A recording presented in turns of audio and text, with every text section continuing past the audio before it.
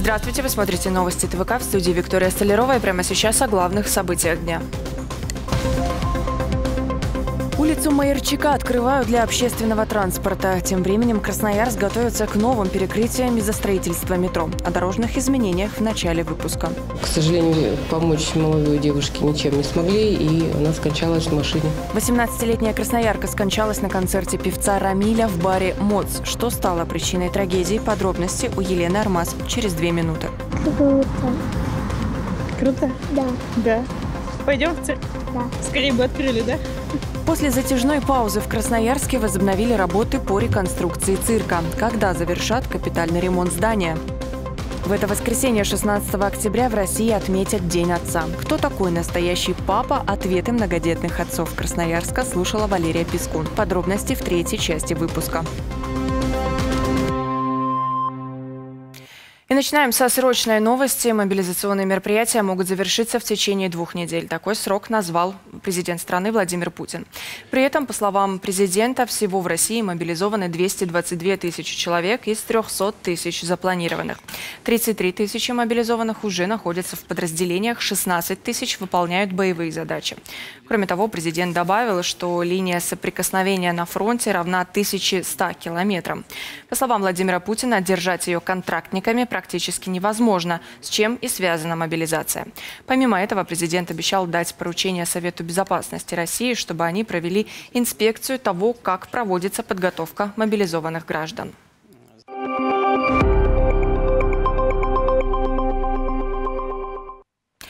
Улицу Майерчика открывают для общественного транспорта уже завтра, 15 октября, с 6 утра. Там начнут ходить автобусы и троллейбусы. В администрации Красноярска рассказали, что на Майерчика вернутся привычные маршруты. Автобусы под номерами 2, 26, 71, 87 и троллейбусы номер 4 и 13. Троллейбус номер 5 на обновленную улицу не вернется. Теперь он будет двигаться по новой схеме через Копылова. А 90-й автобус, наоборот, с 15 октября будет заезжать на Майерчика и далее на Свободный. Это сделали для того, чтобы соединить главный корпус Сибирского федерального университета на горе с юридическим и торговым институтами. Руководитель департамента транспорта Максим Силкин надеется, что открытие МРЧК для общественного транспорта разгрузит близлежащие магистрали. Маршрутная сеть должна э, обращена быть э, на пассажира. Соответственно, надеемся, что на свободном э, в части общественного транспорта все-таки останется полоса для общественного транспорта выделенная. Вот. Далее, соответственно, нагрузка упадет с э, улицы железнодорожников, что имеет немаловажное значение. Ну и, соответственно, потоки действительно перераспределятся. Мы прекрасно знаем, что у нас есть с вами объекты, которые, которыми пользуются сегодня э, жители города. Это другие улицы, где проходят у нас э, ремонтные работы на мостах. Э, естественно, как бы э, такого большого всплеска изменений мы не увидим, пока данные объекты тоже не окончат свое строительство. Тогда будет уже гораздо легче и проще. Ремонт улицы Майерчика начался еще в начале июля. С тех пор ее открытие переносили несколько раз. Подрядчик не успевал закончить работы из-за плохой погоды. За несколько месяцев проезжую часть расширили до четырех полос, уложили два новых слоя асфальта, на участке отремонтировали ливневую канализацию, благоустроили тротуары, а также обновили опоры троллейбусов для контактной сети. Пока на Майерчика не оборудовали остановки и не полностью установили знаки. Для того, чтобы исправить все недочеты, у подрядчика есть две недели.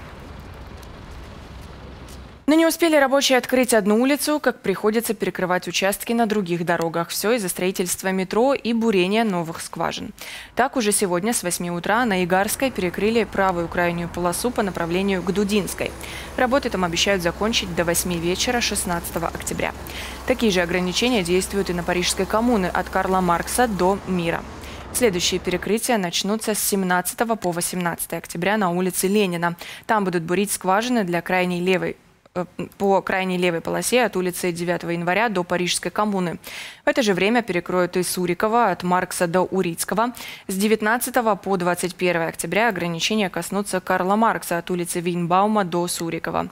Напомню, ранее похожие работы проводили на Молокова и Карла Маркса. Масштабные изменения транспортной системы ждут Красноярск в ноябре. Ориентировочно в это время начнут подготавливать станции для метрополитена. Для этого на Карла Маркса перекроют сразу четыре участка, а движение оттуда перенесут на параллельный проспект Мира. И уже традиционно в час пик Красноярск встал в девятибальные пробки. По оценкам сервисов Дубльгиса и Яндекс.Карты, самые серьезные заторы были в железнодорожном районе. Бордовым отмечены улицы Майерчика, Ладоки Цхавели, проспект Свободный. В пробках автомобилисты стояли на улице Михаила Гаденко и Копылова. Тяжелая ситуация сложилась на Брянской, Шахтеров и Игарской, а также в центре на Вейнбаума, Сурикова и на проспекте Мира. Стояли и в Советском районе, на авиаторов, партизана Железняка, металлургов. На правобережье хуже всего обстояли дела на Красноярском рабочем, Семафорной, Матросова и Мичурина. В пробке традиционно вырос спрос и на такси. По данным Яндекса, заказать машину из Советского района в центр стоило не меньше 400 рублей.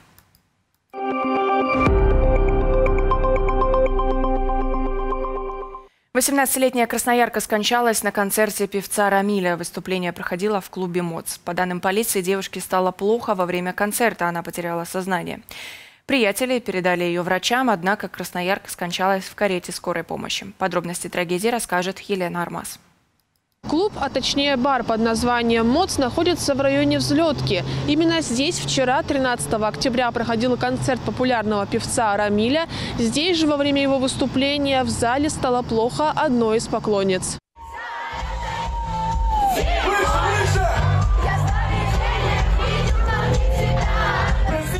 Клуб людей, духота и ослепляющие софиты. Рамиль – популярный певец среди молодежи. В соцсетях на него подписаны сотни тысяч человек. Аншлаг на концерте в Красноярске не удивляет. Но в этой разгоряченной толпе стало плохо 18-летней девушке. Очевидцы говорят, что она стояла близко к сцене. Друзья заметили состояние подруги и вывели ее из клуба. На улице девушка потеряла сознание. Приятели повезли ее в больницу, однако спасти красноярку врачам не удалось, говорят в полиции. И приятели вывели ее из здания, где она потеряла сознание. Затем ее посадили в машину, повезли э, в больницу. Но по дороге встретили, э, остановили скорую помощь и передали девушку медикам.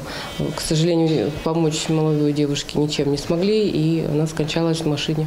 После инцидента в сети стали появляться различные версии гибели девушки. Кто-то говорит, что она надышалась дымом из пушки у сцены. Некоторые уверяют, что девушка была под действием наркотических веществ. Вот что рассказывают очевидцы. На первой песне Рамиля девушке стало плохо. Ее вынесли с толпы, положили на диван, но в сознание не могли привести. Взяли ее на руки, вынесли на улицу. Позже подошел к охране спросить, как чувствует себя девушка. Охранник сказал, что уже вызвали скорую помощь, но им не удается откачать ее. Изначально всех на концерте предупреждали, что нельзя стоять рядом с дым-машиной. Но, видимо, девушка стояла слишком близко и, как итог, задохнулась. Сам концерт классный, но места мало для такого количества человек. Последний вариант поддерживают многие, мол, народу было много, а вот места недостаточно достаточно. Появились и предположения, что девушка страдала хроническим заболеванием, якобы оно и стало причиной плохого самочувствия. По личной болезни скорее всего, ей просто стало нехорошо, она задыхалась. То есть это никак не связано с проведением концерта, тем более дымом, никакого газа не было, все было предельно грамотно организовано. Сам певец эмоционально высказался о трагедии в своем телеграм-канале, однако позже удалил записи из-за наплыва негативных комментариев. Уже под вечер Рамиль выложил еще одно видео, на нем артист пытается сдержать слезы и уверяет поклонников, что другие концерты он отменять не планирует. Получается, утро мы выезжаем. Вот, Томск. Жди нас. Послезавтра концерт, так что все состоится. Как я говорил, никаких переносов не будет. В баре МОЦ гибель девушки комментировать отказались. Доктора устанавливают причину смерти красноярки. Тем временем тур у Рамиля только начался. Впереди исполнителя ждет еще 27 городов. Остается надеяться, что организаторы примут меры, чтобы обеспечить безопасность зрителя. Елена Армаз, Сергей Токарев, Новости ТВК. Массовая эвакуация прошла в техникумах Красноярска. В учебные заведения поступили письма о минировании. Об этом ТВК рассказали сами студенты.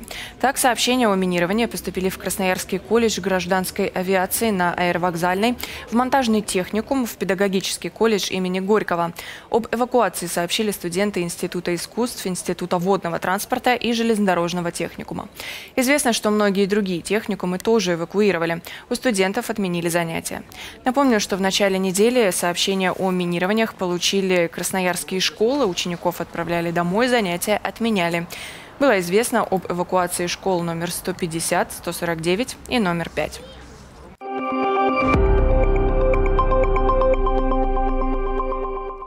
Отцы троих детей не подлежат мобилизации. Такое заявление сделал глава Комитета Госдумы по обороне Андрей Картополов. По словам парламентария, решение об отсрочке от частичной мобилизации для отцов троих и более детей в возрасте до 16 лет – уже приняли, однако официального документа нет и, скорее всего, не будет. По словам Картополова, документ предназначен для служебного пользования. Это цитата. Но информацию довели до всех военкоматов страны. Сам депутат назвал такое решение жестом доброй воли. Официально Министерство обороны не сообщало о каком-либо изменении правил для многодетных. Москвичи и петербуржцы сообщают о массовых вручениях повесток у метро и в подъездах. Очевидцы рассказывают, что сотрудники полиции прямо на улице спрашивают, опрашивают мужчин, берут их данные и вручают повестки. Часть людей уводят в свои машины. Кадрами делятся телеграм-каналы «База» и «Осторожно новости». На некоторых станциях метро даже образовались очереди на вход. Облава на улице. Ребят тормозят всех молодых прям при входе в метро. Там и там. Другие рассказывают, что с повестками мужчин караулят в подъездах. Вот какое видео записала петербурженка. Дежурит с 7.30 утра. А вы кто вообще? А вы кто? Я здесь живу. Молодцы, мы рад за вас. А вы кто? Какая разница? Представьтесь, пожалуйста. С чего вдруг? Ну что вы здесь делаете? Что здесь? Скажите, а у вас совесть вообще есть? До свидания. В администрации Санкт-Петербурга сотрудников полиции и военкоматов, которые стояли в подъездах домов, чтобы вручать жильцам повестки, назвали группами оповещения. А военкомат Москвы опроверг информацию о вручении повесток возле станции метро. Сенатор Андрей Клишес уже заявил, что каждый подобный случай необходимо проверять и давать правовую оценку. Он подчеркнул, что все конституционные права и гарантии, в том числе на свободу передвижения, действуют в России в полном объеме. А вот зампредседателя Комитета Госдумы по обороне Юрий Швыткин считает абсолютно законным вручение повесток гражданам в метро. По его словам, повестка является основанием не для мобилизации, а для прибытия в военный где в последующем выдается мобилизационное предписание, если человек подходит по параметрам. Депутат уверен, что раздача повесток на улице не нарушает права россиян. Отмену новогодних праздников на фоне спецоперации и частичной мобилизации обсуждают власти крупных российских городов. Так, от мероприятий и салюта уже отказались в Новосибирске, Санкт-Петербурге, Калуге и Нижнем Новгороде. Средства, которые были выделены на празднование, будут перераспределены на помощь мобилизованным. Красноярские власти пока не намерены отменять новогодние гуляния. Кроме того, Минобороны страны ранее заявляла, что сейчас нет необходимости отменять новогодние мероприятия. Вооруженные силы имеют все необходимое оснащение. И сегодня мы проводим голосование и спрашиваем у вас, нужно ли, по вашему мнению, отменять новогодние мероприятия в Красноярске.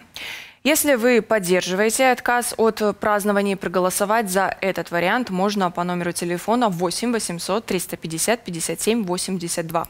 Если же вы считаете, что отказываться от празднования Нового года нет необходимости, звоните по номеру 8 800 350 57 83.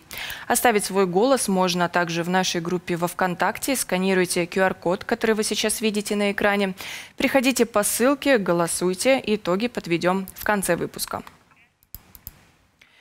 Производитель молочной продукции «Данон» уходит с российского рынка. Об этом рассказали на официальном сайте французской компании. В сообщении указано, что активы компании в России перейдут другим лицам, однако не уточняется каким.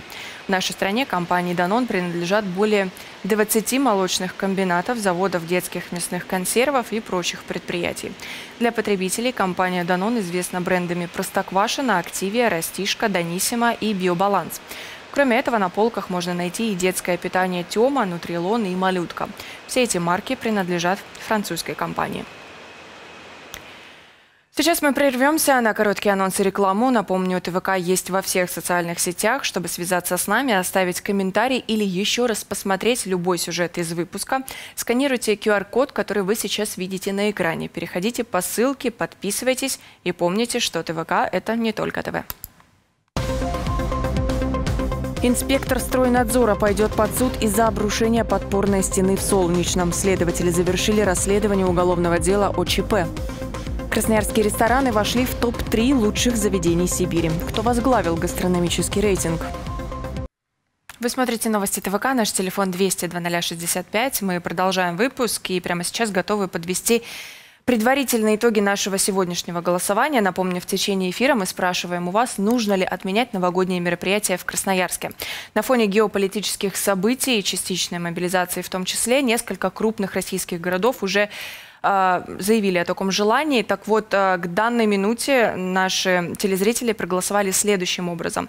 За отмену мероприятий в Новый год проголосовали 64% телезрителей ТВК. И э, вариант ответа «нет» выбрали 36% проголосовавших. Напомню, голосование еще продолжается. Итоги мы подведем в конце выпуска. Номера телефонов вы сейчас видите на экране, а мы пока продолжаем.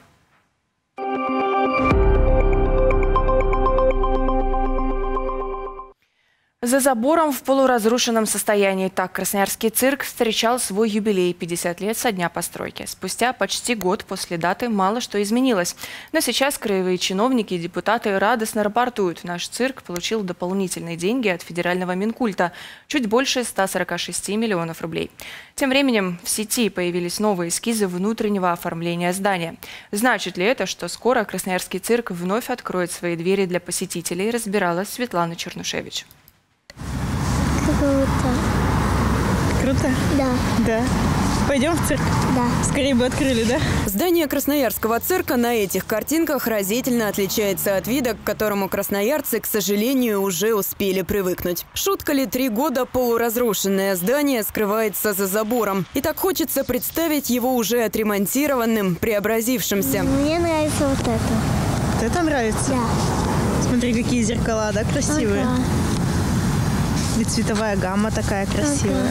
Дизайн-макеты будущего оформления Красноярского цирка уже успели разойтись по сети. Авторы проекта, к слову, это красноярцы, рассказали, что в первую очередь старались подчеркнуть достоинство архитектуры, созданной еще в 70-е годы прошлого века архитектором Виталием Ореховым. Для этого подчеркнули светом главный архитектурный тектонический элемент – барабан купола, а также колонны, формирующие объем здания. Главная задача – сделать не просто интерьер для детей, но привлекать привлекательное современное пространство. Волшебство для взрослых и детей здесь начинается с крыльца. Вдохновлялись авторы яркими и неординарными работами романтического художника-сюрреалиста Клаудио Соуза Пинта, а также проектами архитектора и интерьерного дизайнера из Китая Лисян, чей творческий подход буквально ломает традиционные представления о пространстве. Красноярцам новое оформление цирка, вдохновленное такими примерами, кажется по душе. Да, очень ждем. Я уже почитала, сколько сколько будет моей дочери, когда она сможет пойти в цирк. А вот смотрите, как цирк будет выглядеть да, я предварительно. смотрела в социальных сетях. Как вам? Мне нравится очень э, современно, концептуально. Что-то, может быть, особенно понравилось?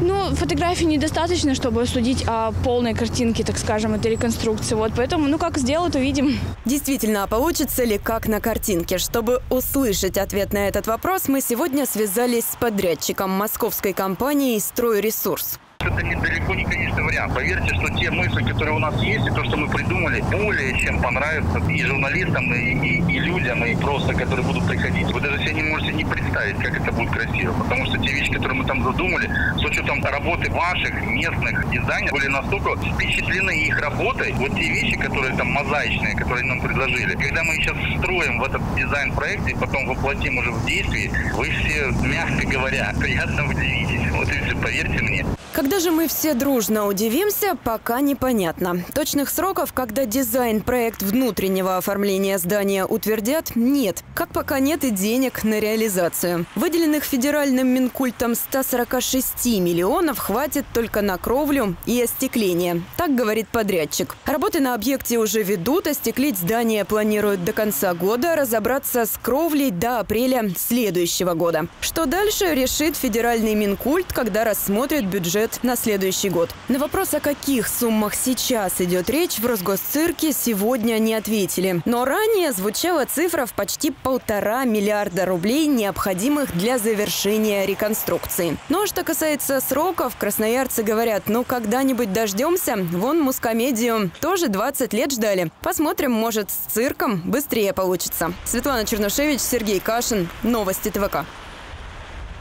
В Красноярске завершили расследование дела об обрушении подпорной стены в Солнечном. Как оказалось, виноват в случившемся инспектор стройнадзора, который в 2017 году, по версии прокуратуры, преждевременно и необоснованно завершил мероприятие по контролю строительства стены.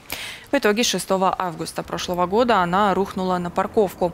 Под завалами оказались пять автомобилей на общую сумму более 2 миллионов рублей. Жителей дома пришлось экстренно эвакуировать, а сама многоэтажка, как передавали очевидцы, в момент обрушения тряслась. Прокуратура установила, что при строительстве подпорной стены были нарушены строительно-технические нормы и правила. Там отсутствовал отвод воды, использовалась несоответствующая арматура и была нарушена монолитность объекта. Уголовное дело о превышении должностных полномочий завели на инспектора стройнадзора, который и проводил проверку. Дело передали в суд, обвиняемый вину не признал. В акватории Байкала произошло землетрясение магнитудой 5,9. Подземные толчки ощущались сегодня в 9 утра в Бурятии и Иркутской области. В Иркутске интенсивность толчков составила 5 баллов, в Улан-Удэ от 4 до 5 баллов. Очевидцы сняли кадры, как в квартирах и офисных помещениях звенела посуда, качались люстры и тряслась мебель. Жестко, да? Качаются до сих пор. По данным Иркутского МЧС, эпицентр находился в 19 километрах восточнее села Большое Голоусное. После удара стихии произошло несколько авторшоков. О пострадавших в регионах не сообщается. Сейчас чиновники проверяют социальные объекты, а специалисты управляющих компаний обследуют жилой фонд. Экипажи аварийно-спасательной службы в течение дня патрулировали улицы Иркутска и Улан-Удэ, чтобы оценить обстановку.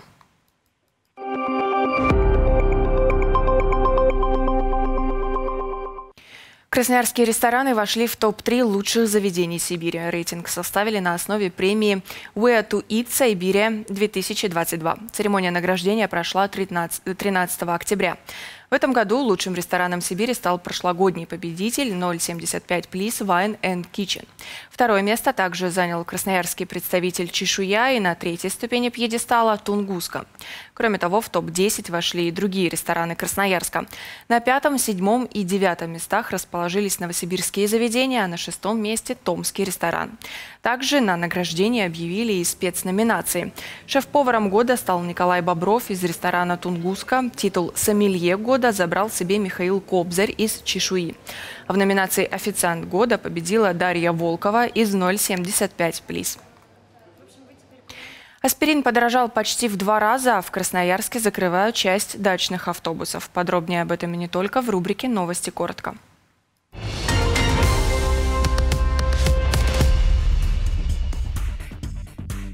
Красноярском крае за год аспирин, мыло и спички подорожали в полтора-два раза. Такими данными поделился Красноярск стат. Специалисты проанализировали рост цен на популярные продуктовые и непродуктовые товары. За год огурцы подорожали на 60%, бананы на 10%, а яйца на 8%. Аспирин вырос в цене в два раза, а хозяйственное мыло, спички, дезодоранты и шприцы в среднем на 50%.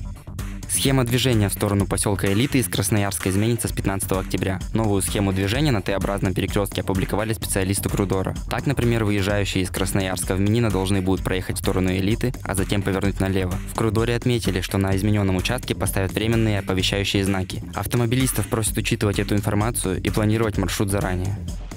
В Красноярске закрывают часть дачных автобусов. Как рассказали в мэрии, уже 17 октября из-за окончания дачного сезона закроются маршруты 18С, 40А и 40С. Автобусы маршрута номер 19 перестанут выполнять продленные рейсы до садового общества «Южное». Без изменений останутся маршруты 18 и 40. В мэрии напомнили, что информацию о движении автобусов красноярцы могут узнать на сайте Красноярск Гортранса или в диспетчерской.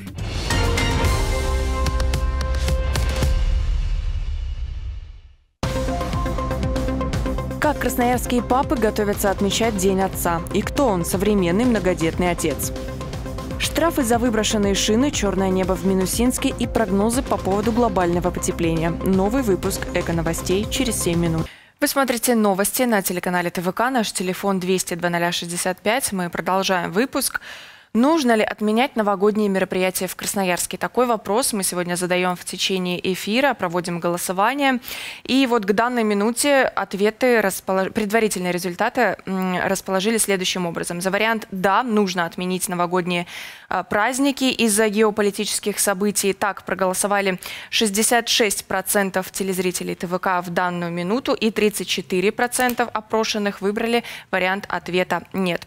Голосование еще продолжается. Итоги окончательные подведем в конце выпуска. Номера телефонов вы сейчас видите на экране. Ну а мы пока продолжаем. В это воскресенье, 16 октября, в России отметят День Отца. Этот праздник появился совсем недавно и еще не оброс традициями. Однако самим папам и их семьям идея нравится.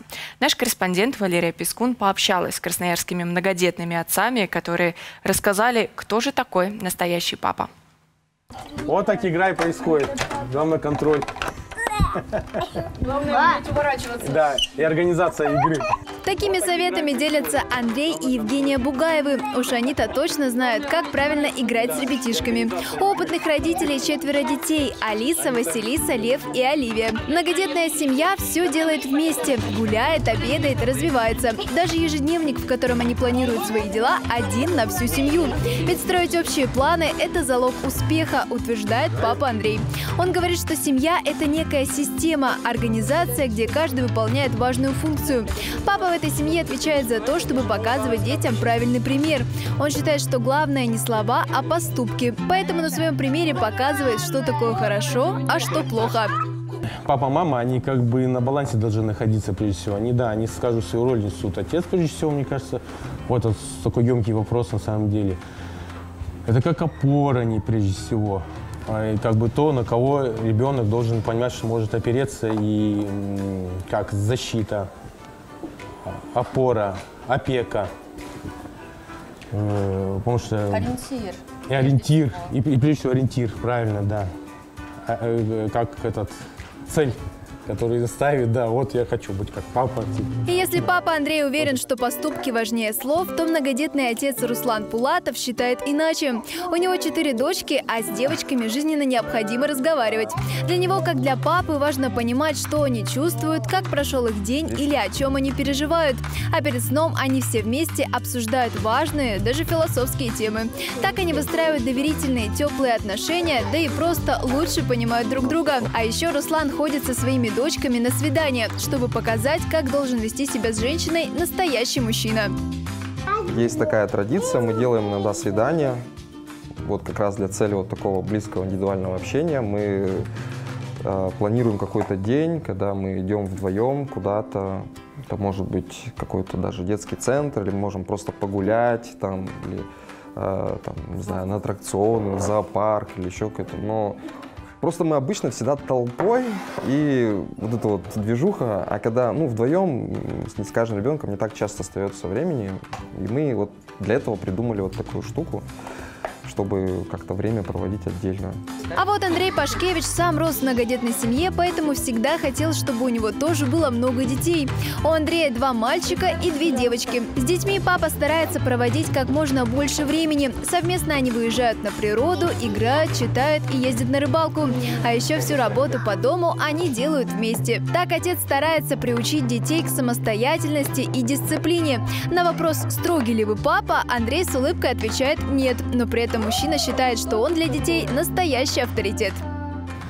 То есть они слушаются, если где-то даже жена не справляется, вот э, с младшим, с Григорием, она зовет меня, то есть папа, помоги. То есть потому что слушаются только папу. И что вы делаете в этот момент? Ну, иду, то есть все, команда. Если папа идет, то все, значит, уже они слушаются. Отцы бывают разные – строгие, понимающие, заботливые и любящие. Но самое главное, что они играют очень важную роль в жизни каждого ребенка. С Днем Отца, дорогие папы! Валерия Пескун, Артемий Мячин, ТВК. Красноярцев ждут облачные, но вполне теплые выходные. В субботу, по прогнозам синоптиков, будет плюс 6 градусов. При этом никаких дождей и сильного ветра не ожидается. К вечеру похолодает до минус 2 градусов. В воскресенье днем в городе потеплеет до плюс 9 и также никаких осадков. В целом же такая температура сохранится в Красноярске в течение всей рабочей недели, однако уже в середине недели в город придут дожди и сильный ветер. Что касается геомагнитной обстановки, то метеорологи прогнозируют небольшие возмущения на солнце в середине недели. Магнитные бури до 4 баллов ожидаются 19 и 20 октября. В остальные дни солнечная активность не превысит 2-3 баллов. Штрафы за выброшенные шины, черное небо в Минусинске и прогнозы по поводу глобального потепления. Подробнее об этом смотрите в новом выпуске «Эко-новостей». Всем привет! Вы смотрите «Эко-новости». На ТВК ближайшие несколько минут вас ждут события из сферы защиты природы. Давайте узнаем новости из Красноярска, России и мира, от которых легче дышать.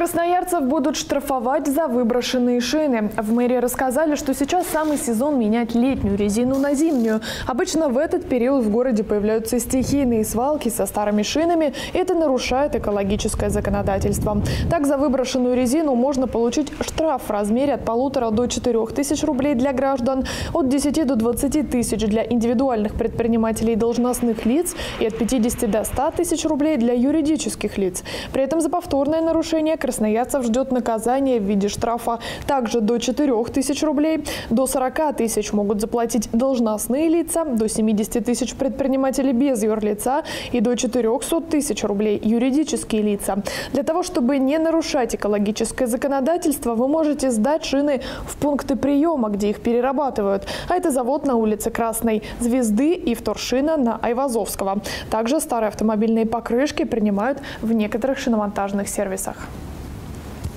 Росприроднадзор вновь обратил внимание на проблему черного неба в Минусинске. Традиционно с началом отопительного сезона город окутывает дымка. В частности, из-за того, что Минусинск находится в котловине, и все вредные выбросы, в том числе которые принес ветер с других территорий, скапливаются над городом. Об этом в очередной раз напомнила Светлана Родионова, глава Росприроднадзора на Российском экологическом форуме. Минусинск неоднократно становился лидером в антирейтингах по уровню загрязнения. Например, Например, город возглавил экорейтинг зеленых с 3 по 9 октября, став самым грязным. Председатель партии Сергей Шахматов считает, что даже если перевести все частные дома, это больше 10 тысяч, на альтернативные виды отопления, то ситуацию это не исправит. И поэтому э, решить вопрос э, с тем, чтобы убрать черное небо в Минусинске, решая его только в Минусинске, не получится. Потому что никто не отменял по преимущественной роли ветров э, перенос трансграничный тех выбросов с э, более крупной группировки автономных источников теплоснабжения, которые находятся на территории Хакасии. И сегодня жители Минусинска дышат в том числе этим. Это установлено специалистами и многими экспертами, экологами. И если эту проблему не решать совместно с э, властями Республики Хакасия и с властями Абакана, Абакана-Черногорской агломерации, э, этот вопрос решен не будет. На территории России теплеет в два с половиной раза быстрее, чем на оставшихся частях Земли. Слова главы Росгидромета Игоря Шумакова передает ТАСС. Он же, в свою очередь, ссылается на данные Всемирной метеорологической организации. Так, по заявлениям Игоря Шумакова, быстрее всего растет температура северной полярной области страны, особенно в последние десятилетия. Площадь морского льда в Арктике сокращается, деградирует многолетняя мерзлота. И ситуация может продолжить усугубляться, говорит Шумаков. Кроме того, последние семь лет в целом стали самыми теплыми за всю историю наблюдений. По оценкам, на которые ссылается руководитель ведомства, средняя глобальная температура с 2018 по 2022 год на 1,17 градуса Цельсия была выше значений с 1850 по 1950 год. Сейчас на экране вы видите уровень загрязнения воздуха по данным общественников за неделю. Наиболее загрязненными районами с 10 по 13 октября оказались Ленинский и Кировский, а самыми чистыми стали Центральные и Октябрьские районы. На этом все. Вы смотрели «Эко-новости» на ТВК. Увидимся в эфире.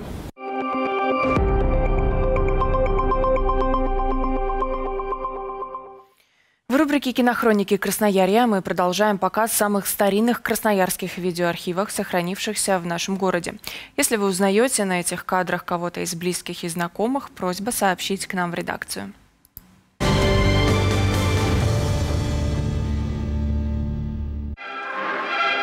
День, о котором мы хотим рассказать сегодня, был одним из самых обыкновенных августовских дней – на улице Красноярска он вошел вместе с колоннами строителей, отмечающих свой праздник. На фестиваль собрались и те, кто создает один из крупнейших в стране Ачинский алюминиевый комбинат и те, кто приехал по призыву партии, чтобы проложить сквозь дебри горы и реки дорогу Абакан-Тельшет. Наверное, День города сейчас отмечают более скромно, нежели День строителя в 60-м году. Грандиозное зрелищное действо на переполненном стадионе «Локомотив» и массовые народные гуляния по всему городу. Пусть веселятся строители. А мы, вслед за августовским солнцем, пойдем дальше по Сибири. Посмотрим, чем она сегодня живет. Их маршруты пролегают по нехоженным местам. Не только летом, но и в зимнюю стужу исследуют геологи недра Земли. И Земля выдает им свои сокровища. В начале 60-х на юге Красноярского края было найдено крупнейшее месторождение фосфоритов в долине реки Сейба.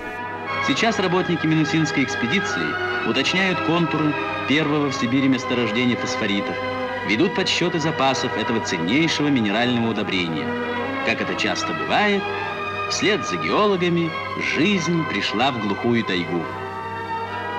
Знаете ли вы, что не выходя из кабинета, можно побывать высоко над облаками?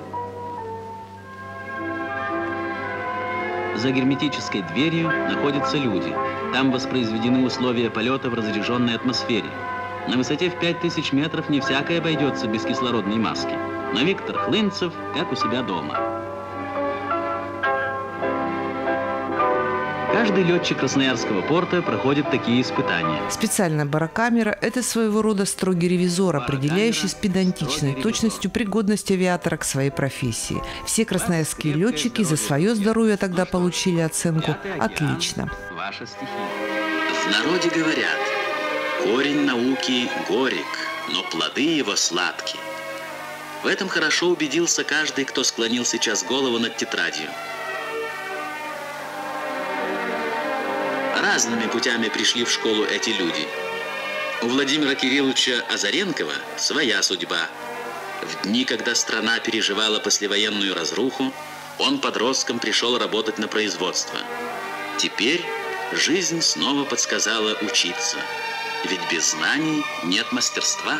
Бригада «Озаренко» – одна из передовых на Красноярском заводе «Сиптишмаш». В честь 22-го съезда партии она выполняла месячные задания на 150-200%. Члены бригады вызвали на соревнования слесарей-сборщиков Иркутского завода имени Куйбышева.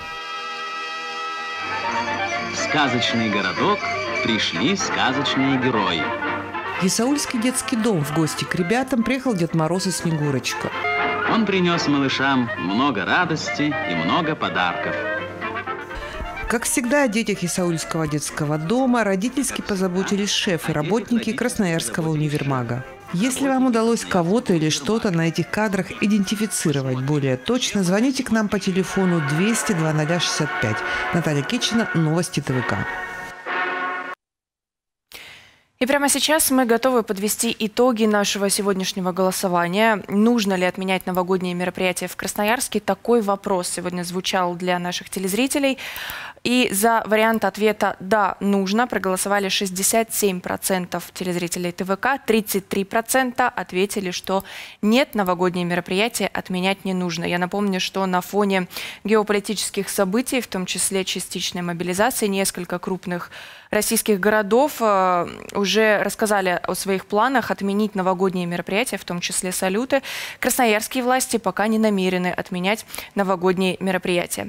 Ну что ж, вот такие итоги нашего сегодняшнего голосования. Ну а на сегодня это все новости. Напомню, телефон редакции 200 0065. Подписывайтесь на нас во всех соцсетях и до встречи в эфире.